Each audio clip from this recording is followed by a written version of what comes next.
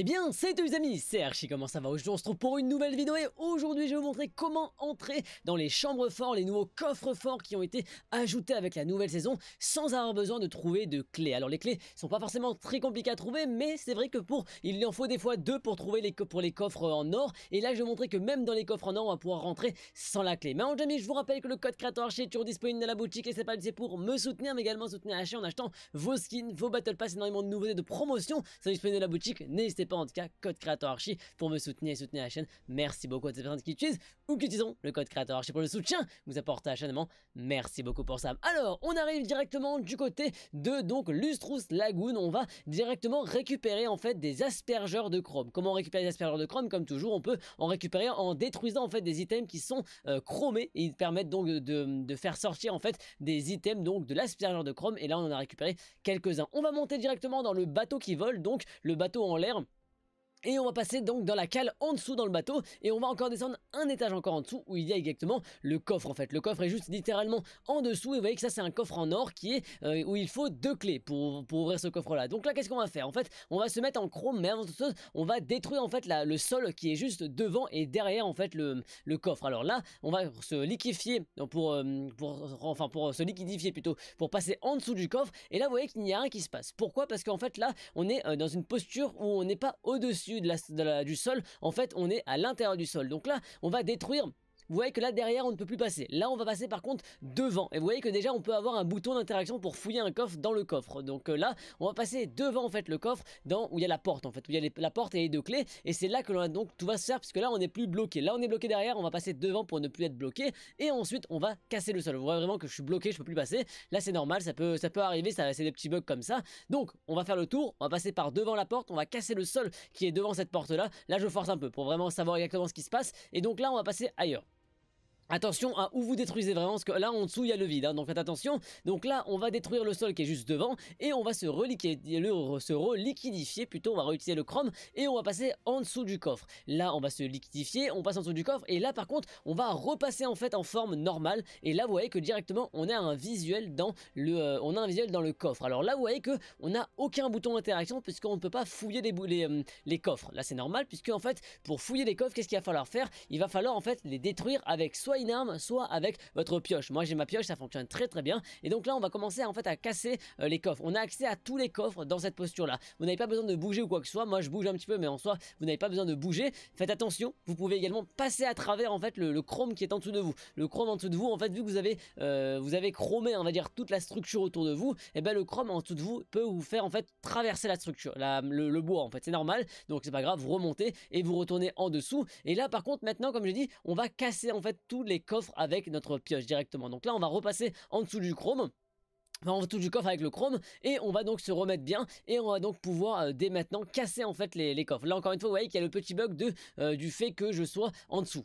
Donc vous avez compris vous pouvez passer en dessous de la structure et maintenant on est en dessous du coffre. On, est, on a un, visuel dans le coffre et on va casser dès maintenant en fait tous les coffres qu'on a à l'intérieur pour pouvoir donc récupérer euh, toutes les récupérer facilement tout le loot en fait. Là vous voyez qu'on peut pas également récupérer le loot. C'est normal vous allez voir je vais vous expliquer. Mais d'abord on va casser tous les coffres pour vraiment avoir tout le loot. Attention également à où vous cassez parce que si vous cassez euh, le sol, vous allez tomber. Parce que regardez, vous voyez que, moi, le sol est déjà pratiquement, euh, fini, est pratiquement mort. Donc, il faut vraiment faire attention à où vous tapez avec votre viseur pour vraiment avoir le maximum de ressources et de récompenses et pas euh, casser le sol en dessous de vous. Donc là, vous voyez qu'on a récupéré, on a cassé tous les coffres. Donc maintenant, qu'est-ce qu'on va faire? En fait, il va falloir passer en dessous du coffre pour pouvoir récupérer le loot. Pourquoi? Parce qu'en fait, là, en fait, il faudra se le reliquidifier et en dessous du coffre, en fait, on va avoir la possibilité de récupérer toutes les ressources qui ont été euh, sorties du coffre. Attention par contre que toutes les ressources que vous allez récupérer euh, c'est bien, par contre toutes les ressources que vous avez sur vous et que vous allez changer en fait vont rester dans le code. Donc faites vraiment attention à ce que vous récupérez, à ce que ce soit bien ce qui vous intéresse bien. Et comme je dis, en dessous vous avez accès à tout ce qu'il vous faut, à tous les items, à toutes les ressources, à tout le bois, tout ce qu'il vous faut en fait est disponible par en fait l'intermédiaire du euh, dessous du coffre. Et là maintenant vous pouvez donc récupérer les ressources comme je dis à partir d'en dessous. Donc voilà comment euh, passer à l'intérieur d'un coffre sans avoir besoin de clés? Par contre attention, c'est pas tous les coffres qui sont disponibles et accessibles comme ça.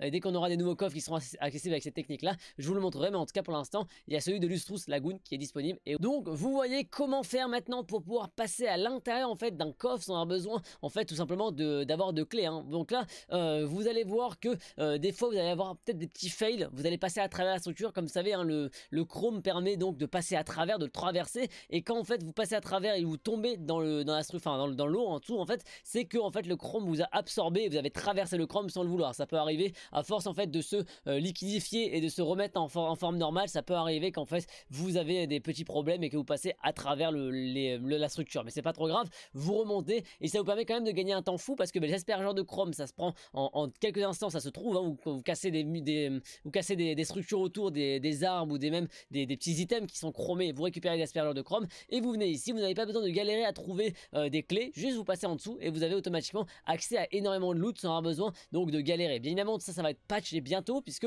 ben, là en fait on a énormément de loot et surtout du loot prestigieux puisque ben, c'est un coffre en or et euh, sans avoir besoin de looter quoi que ce soit ou de galérer à récupérer quoi que ce soit. Et en plus vous avez des très bonnes armes épiques, légendaires ou quoi que ce soit. Donc vraiment ça va être patché très bientôt. Donc n'hésitez pas à en profiter avant que ce le soit puisque ben, là on a encore un peu de temps puisque c'est un problème qui n'est pas encore résolu le problème, je sais comment il va, être résolu, hein, c'est que en fait vous ne pourrez plus détruire le sol euh, du bateau, mais en tout cas pour l'instant on peut en profiter et on peut avoir énormément de loot très facilement, rapidement. Et en début de partie vraiment c'est euh, vraiment déjà une zone qui est très utilisée par beaucoup de personnes puisque c'est une nouvelle zone qui est très intéressante, mais surtout ça vous permettra donc d'avoir énormément de loot, du très bon loot, des, euh, ressources, du bois, des munitions, tout ça. Et également d'avoir aussi potentiellement des kills à côté. Donc franchement il n'y a pas de meilleure possibilité, de meilleure situation pour avoir énormément, énormément de, enfin pour commencer une meilleure game que ça, qu'avec cette technique-là, et d'entrer dans un coffre sans avoir besoin de clés. Faites quand même attention parce que bah, maintenant que la technique est connue, il y a pas mal de personnes qui vont commencer à la faire, mais surtout faites attention parce que dans le bateau, en fait, il y a aussi beaucoup de personnes qui spawnent dans le bateau pour avoir